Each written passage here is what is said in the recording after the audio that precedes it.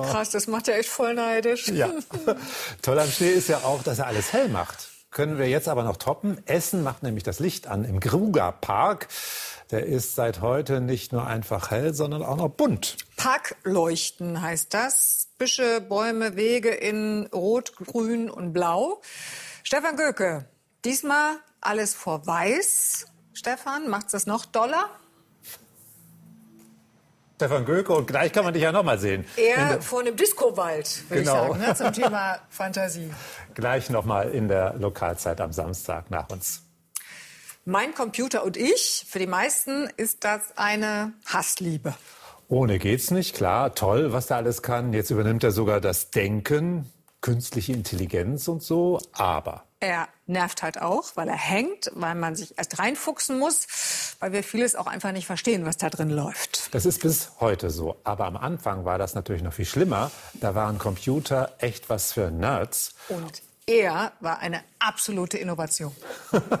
der Mac vor 40 Jahren stellt Steve Jobs, der Computertüftler, sein Baby vor. Ein Computer mit Maus, sensationell und vor allem eins, benutzerfreundlich. Halleluja. So war's. Und dann gibt es heute auch Neues von der Werteunion. Die hat beschlossen, eine Partei zu gründen. Das soll der Vorsitzende Hans-Georg Maaßen jetzt auf den Weg bringen. Der war ja lange Chef des Verfassungsschutzes und ist immer noch CDU-Mitglied.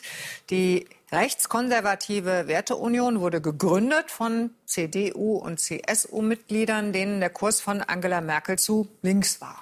Zwei Mitglieder der Werteunion waren auch bei dem Treffen mit Rechtsextremen im November in Potsdam, wo es um Pläne ging, Menschen mit Migrationshintergrund massenweise aus Deutschland zu vertreiben.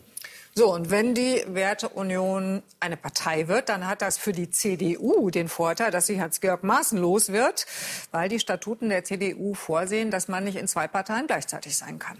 Dann gucken wir jetzt mal auf die CDU, und zwar hier in Nordrhein-Westfalen.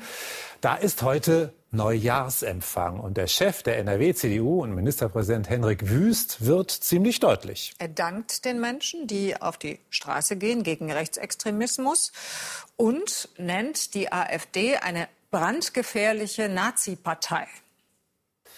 Und wer weiß, vielleicht sehen wir ja auch den einen oder anderen CDU-Politiker demnächst auf der Straße bei einer Demo gegen rechts. Norbert Lammert, der ja lange Bundestagspräsident war und heute die Konrad-Adenauer-Stiftung leitet, der kann sich das gut vorstellen. Es wird gerade viel demonstriert und protestiert in Deutschland. Schon länger unterwegs sind die Bauern, wobei die ja auch dann Eindruck machen, und Stau, wenn sie nur mit 300 Leuten oder so unterwegs sind, weil fast jeder in seinem dicken Trecker sitzt. In Berlin ist gerade Grüne Woche, die Agrarmesse und da regt sich heute etwas anderer Protest. Bauern, und zwar 8000, denen es nicht nur um das eigene Geld geht, sondern auch um eine klimafreundliche Landwirtschaft.